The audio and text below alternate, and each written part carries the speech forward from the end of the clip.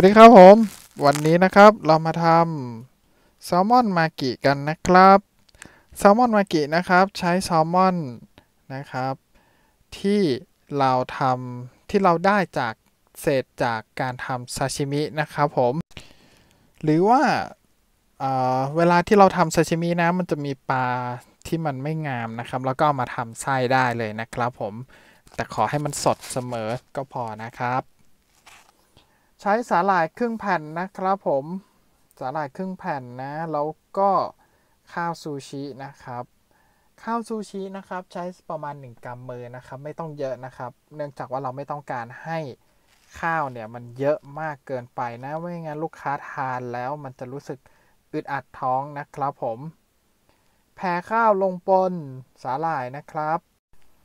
ให้มันพอดีนะครับ อย่าให้มันแน่นจนเกินไปนะครับ แล้วก็อย่าอัดข้าวเยอะนะครับ ไม่งั้น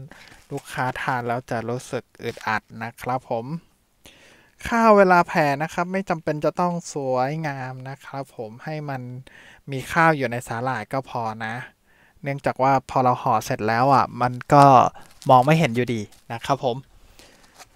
บางร้านนะครับก็จะโรย หรือว่า แต้มวาซาบิลงไปในข้าวนิดนึงนะครับ เพื่อดับคาวปลานะ แต่ว่าลูกค้าส่วนมากจะไม่ค่อยชอบแบบนั้นนะ เราก็เลยไม่ใส่ ก็หลังจากนั้นเนี่ยเราก็วางแซลมอนลงไปในข้าวนะครับผมแบบนี้นะแซลมอนเต็มๆคำไปเลย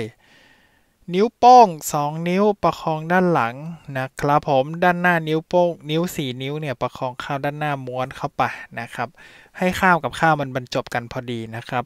แล้วก็ใช้นิ้วแตะน้ำให้เป็นกาวสำหรับสาหร่ายมันติดกันนะครับผม แบบนี้นะในขั้นตอนนี้หัวท้ายมันไม่งามนะครับ ให้เราเอาข้าว เติมเข้าไปให้มันพอดีนะครับ หัวท้ายให้มันสวยงามพอดีนะครับผม ถ้าเรากดข้าวเยอะแน่นไปนะไส้ปากก็จะทะลักนะครับผม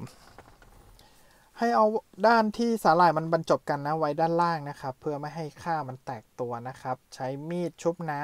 ำตัดครึ่งแล้วก็ตัด3นะครับผมเราก็จะได้สาหร่าย 6 ชิ้นพอดีคำนะครับผมเห็นไหมครับ ข้าวบางๆ ไส้เยอะๆ นี่แหละครับ ร้านซูชิที่ลูกค้าชอบนะครับ ก็จะเป็นแบบนี้นะ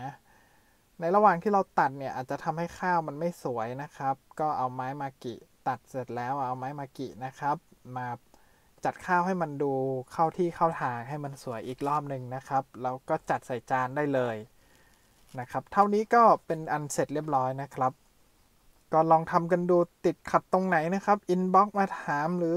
คอมเมนต์ไว้ใต้ข้างล่างนะครับ ผมจะมาตอบให้นะครับผม ยังไงตรงนี้เห็นไหมครับ สาหร่ายมันจะโผล่ออกมา มันเราใส่น้ำน้อยไปนะ วิธีแก้ก็คือให้หันด้านนี้มันเข้าหากันประกบกันนะครับ เท่านี้เราก็จะได้ข้าวห่อสาหร่ายที่ไม่แตกแล้วนะครับ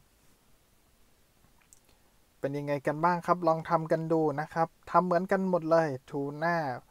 กุ้งปู แซลมอนทำวิธีนี้กันหมดเลยนะครับผม ลองทำกันดูนะครับ ขอบคุณครับ